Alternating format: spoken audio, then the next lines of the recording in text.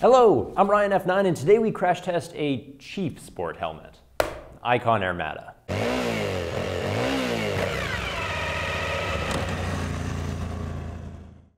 All right, so maybe cheap is a little bit harsh. In reality, this is Icon's middle of the road sport bucket. It looks down upon the Icon Alliance and looks up to the Icon airframe. But in the big picture of things, it only costs $200 and that makes it a cheap helmet. Last week, we torture tested a bazillion dollar Shoei, and it scored 66%. I'm curious to see how our budget beauty does by comparison.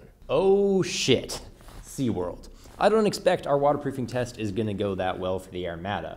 Player reviewers often call this a breezy helmet, but one filled with less bullshit would just call it leaky. I mean, all these rear exhaust slits, they're stuck open back here. And then Icon relies on just a peg and a hole to cinch this visor tight to the rubber flange. That works about as well as you might expect, not to mention that the peg doesn't quite fit the hole, leaving yet another gap for the water to find.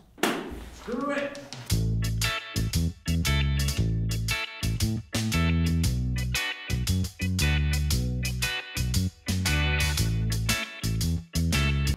So that was fun. Um, the visor actually did better than I thought it would. Not much came through there, but I had loads of ice cold water coming through the rear exhaust vents. I don't normally take pleasure in handing out failing grades, but you Airmada.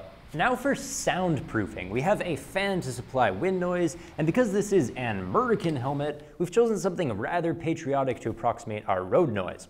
When we ran this test with the mic out in the open, we achieved a peak of 104 decibels. Now we're gonna throw the Airmada on, see how much we cancel.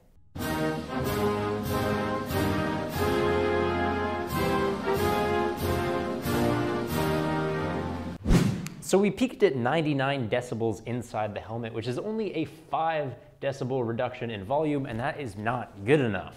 Failing grade for soundproofing. Now I still haven't forgiven the Airmada for getting me wet earlier, and so I'm gonna shoot it with pointed pellets at 500 feet per second. It tends to be a pretty good way to test puncture strength, since it always takes a few shots to penetrate right through.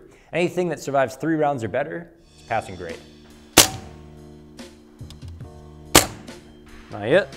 So this will be the do or die shot because um, if it survives three, then it's a pass. Uh, almost through, but no, it's gonna be a pass. Three shots, still good. Oh, I think we're right through on that one. So we've gone right through in four shots. If you remember the bazillion dollar Shoei we tested last time also took four, which is amazing. I mean, this helmet is like a third of the price, but the visor is just as strong. Next, we're gonna shoot the shell and uh, see how that goes. Not through yet. It looks pretty close though.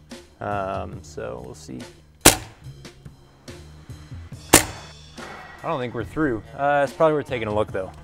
Yeah, I mean, that's not EPS foam in there, so we're not actually quite through the polycarb shell yet. It's really impressive because that's three shots, and our Shoei, which was fancy organic fibers and fiberglass, lasted three shots, we got right through it. This one is gonna survive more than three, uh, and it's a cheaper helmet, so that's impressive.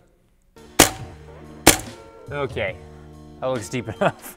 I did not think that I would be needing five shots to actually get through this shell. Um, polycarb is cheap. It's cheap. It's a lot cheaper than the Shoei.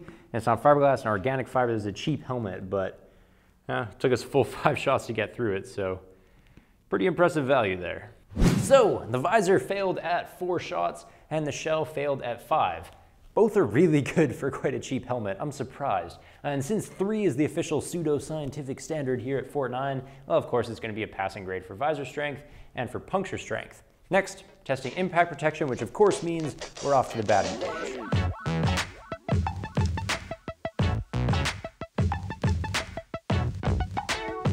So we lost some pieces, a side plate, vent cover, whatever. Also, the rapid release shield system seems to have rapidly released at least from one side. We'll see if that's still working or not later. My psychic powers, though, tell me that this 50G sticker is gonna be triggered, and oh boy, is it. Now see, I kind of knew that was gonna happen because this helmet here, it's a long oval helmet, and it's one that Icon desperately wanted to be very slim and very light. So essentially they took a narrow helmet and made it narrower, not good for side impact protection.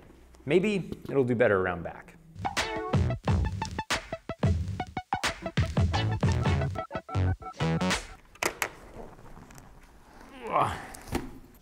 That's much better. Hopefully it does equally well on top.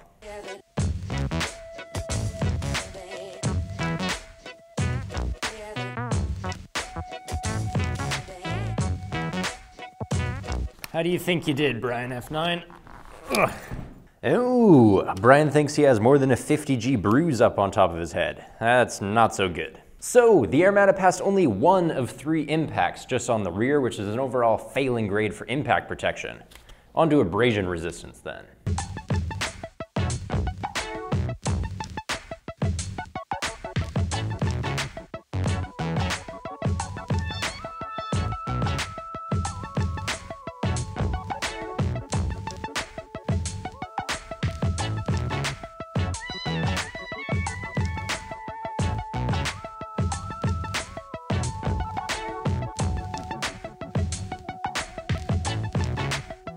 All right, thank goodness we finally got through uh, through the shell down to the EPS film right in there. You can start to see it peeking through. Um, this shell was really thick. You know, polycarbonates, it's, it's cheap. It's not as expensive as like fiberglass or carbon fiber, but I mean, Icon made it so damn thick. Two minutes, 55 seconds to get to the EPS foam. It's actually the best abrasion resistance we've seen. Welcome to Golf Town, a place where we test chin bar strength with no delicate touch. Last time the Shoei Neotech basically exploded on impact, but we forgot to put something into the helmet itself to see how much force was actually transferred to the face. So despite using the most precise instruments known to modern science, our testing method was kind of problematic. Like all of life problems, however, it can be solved with a melon.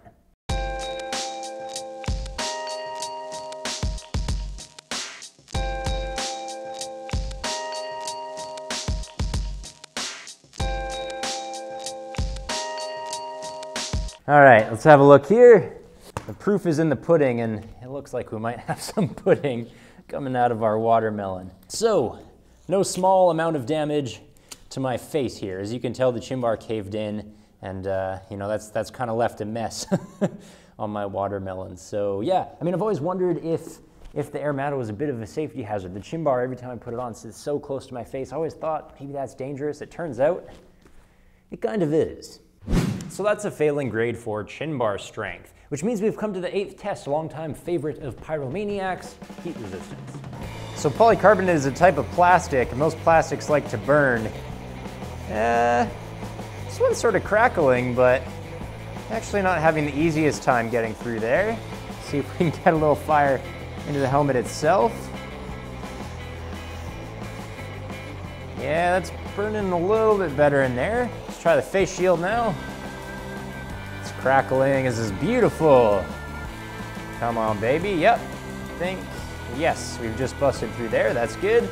Now people often complain that these rubber O-rings on here aren't seated properly and they come unstuck, so let's see about that icon. Let's see if we can unstick it. Uh, that rubber is not having the easiest time burning either. All in all, I've been pretty impressed so far. There's the rubber coming apart now. One of the best liners in my opinion. I love this stuff. Turns out it burns quite well as well.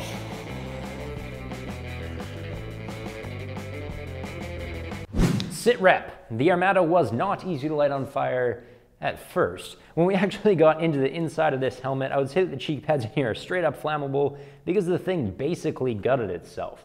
In fact, it burned so hot that it did this to the face shield, which we've never seen before. But Okay, Icon, chill out. Yes, of course, nothing is going to burn from the inside out from your helmet unless you spontaneously combust. It was, in fact, very difficult to get into this thing with fire from the outside, so fine. By the skin of your teeth, you do get a passing grade for heat resistance. And that's going to bring us to Fortnine's ninth test, build quality, where we ask the question, what still works? And on the icon, not much. It is actually quite remarkable that this, the rapid release system on one side of the shield, does still click in. But on the other side, nope, that's a critical failure there. The other thing that's actually reasonably impressive is these side plates. They will actually still click into the visor, more or less. Um, so that's something as well. But for the most part, no. I mean, the vents don't work anymore. And mainly every time we hit this helmet, stuff was falling off of it. That's not that great. And most of the time that stuff was not reattachable anyway. So one, two, three, four, which is four out of nine, 44.4%. That's about 20% less than the Shoei Neotech we tested last week, but this is a cheap helmet. It's about three times cheaper than the Shoei Neotech we tested, so perhaps that's what you'd expect.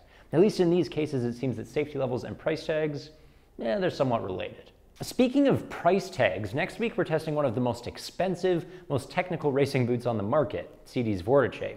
Until then, thank you very much for watching. Take care.